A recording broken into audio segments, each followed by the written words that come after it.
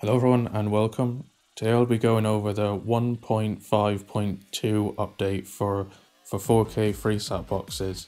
This update was released on the 29th of February 2024. This update includes maintenance fixes and updates to satellite lists. I haven't noticed any bugs fixed in this update so I'm not sure what they fixed behind the scenes. I'm not sure what the satellite lists are but these fixes should improve the overall FreeSat experience.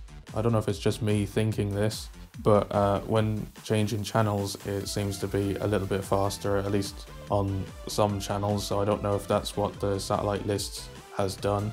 Again, I don't know if that's just me thinking that it's a bit faster or actually is, but it does seem faster to me.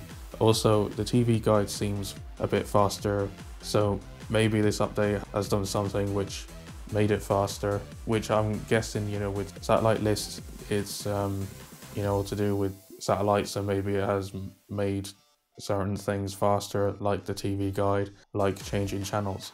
And uh, if it has, then, you know, that's pretty cool. But anyway, that's what's included in this update. Like I said, I'm not exa exactly sure what they've done because they're a bit vague but the patch notes will be linked in the description if you'd like to look at them yourself. But that's it for this video. Thanks very much for watching, and I'll see you in my next video.